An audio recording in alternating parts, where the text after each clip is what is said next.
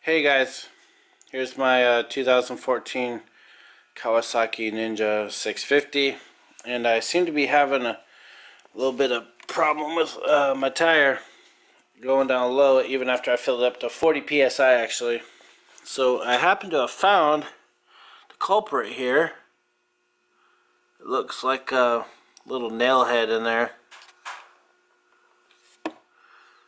But uh, so what I'm going to do is uh, roll the tire back some and uh, I have a plug kit here that I picked up from Slime on Amazon. I did have a tire plug kit from uh, Harbor Freight and Tool but uh, I wasn't too sure about how long it would last so uh, so I picked up the other one and I got this emergency flat tire repair since in the garage I don't really have a uh, air compressor or anything. So I'm just mo mostly going to use it to uh, do the plug this way and then fill it up with air that way. Anyways uh, let's get started. Gonna pull out the uh, slime tire plug kit. Remove any puncturing objects. Insert the tool. Slide up and down to roughen and clean out the inside of the hole which will allow the uh, plug material to easily insert um, and then you're gonna want to put it in with the inserting tool. Looks like this. And then um, insert the plug centered in the eye of the needle until puncture into puncture until it's pushed approximately two-thirds of the way in pull the nail straight out with a rapid motion I can do that well let's get going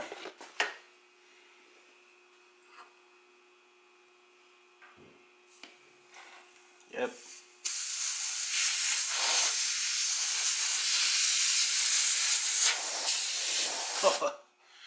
Did you hear that air?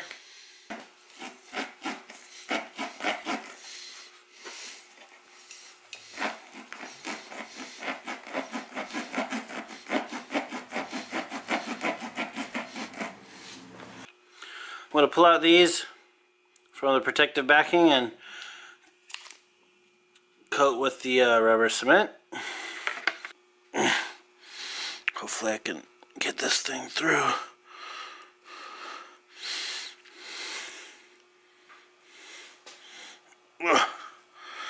I am definitely a novice when it comes to maintenance, so let's coat it with the rubber cement.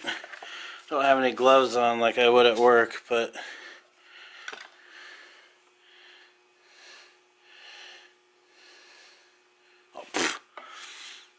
Yep, definitely a noob. I gotta puncture this thing. One puncture with the Allen key on the other side of the garage will do. Alright. So I'm gonna pull this out, stick it in like they want.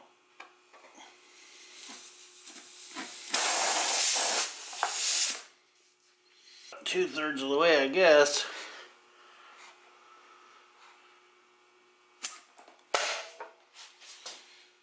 It's definitely in there.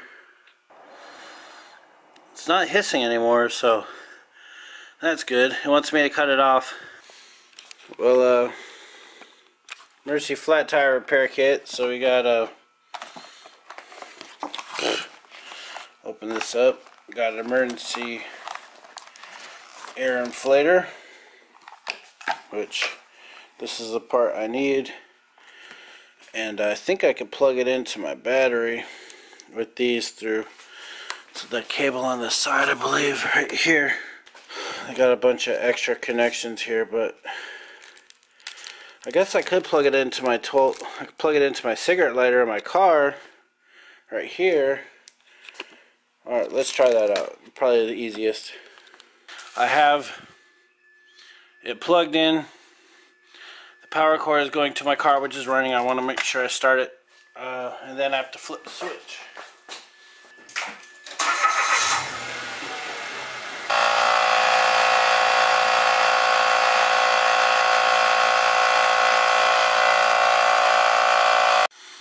Alright, so it's been about three, four minutes, which it recommends to fill up.